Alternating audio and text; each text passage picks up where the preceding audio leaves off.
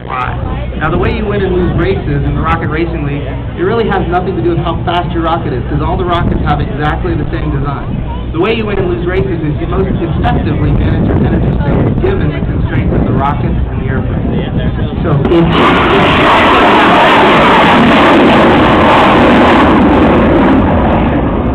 you see the uh, fusion trail, and the uh, pilots are pulsing their rocket engine.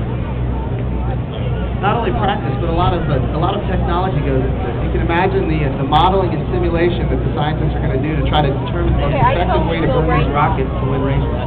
Well, you gotta ask, uh, is it possible eventually to have engines that have throttles on them, or would that take some of the fun out of it? Well, that's a question for Peter. Uh, We, we are looking at throttleable engines, but of course, right now, it's all about how the pilot uses their energy. And here we go. The pilot fuel here, they have about two minutes of fuel on board, and how they use that energy to go through the course. So imagine in the future when they've got the gates they're flying through, you see that white smoke is, uh, from the smoke generator. And we've got, this is, uh,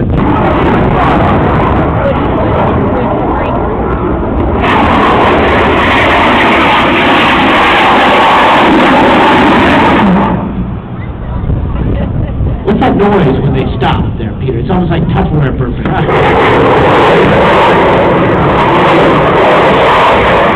So, uh, yeah, thank you again, Armadillo, for a great engine on this vehicle.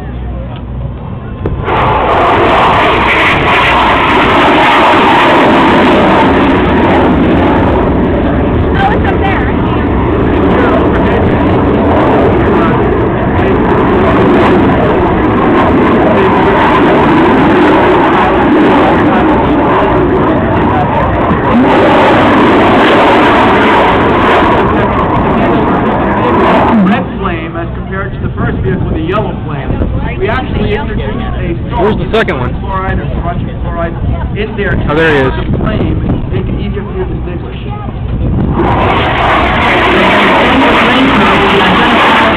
Color of its flue, huh? You throw my trash away? Yes.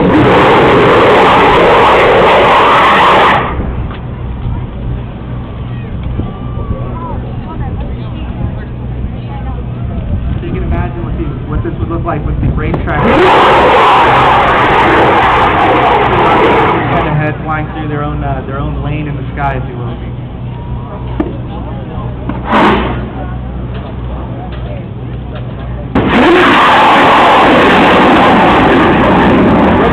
It's up to the pilot how long.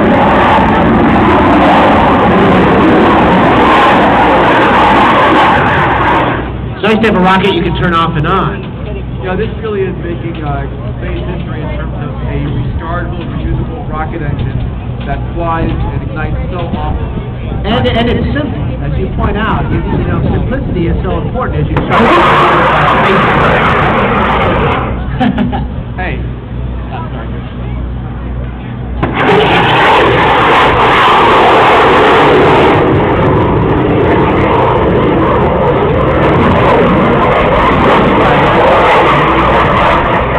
Down uh, Tyre, he's a test pilot for the Rocket Racing League, and Dave Reno Airways. Recording,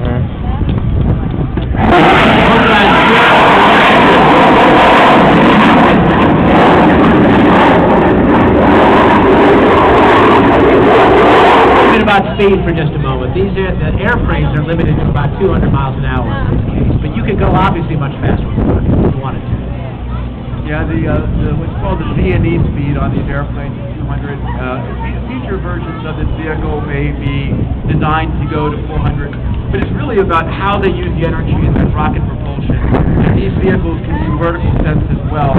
Uh, pro- at this point, we see the smoke, uh, the vehicle is out of its fuel, will be coming into glide for landing at the runway in front of you.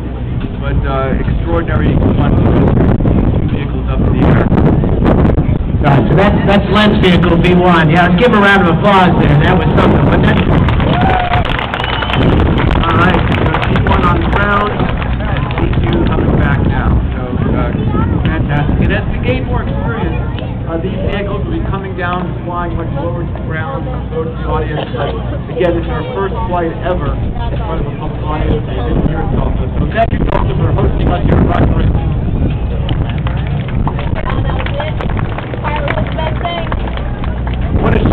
And first time I saw the fly was at Oshkosh, and they were a lot higher than that. And as you say, as time goes on, this is gonna be right down on the tag, and you're gonna see that rocket kind of eyeball to eyeball, and it will be something, won't it, won't?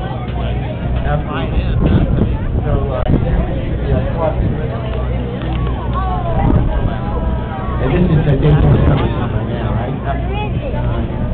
It's landing in front of us. And these vehicles, as we said, Miles, are something like a space shuttle as a glider.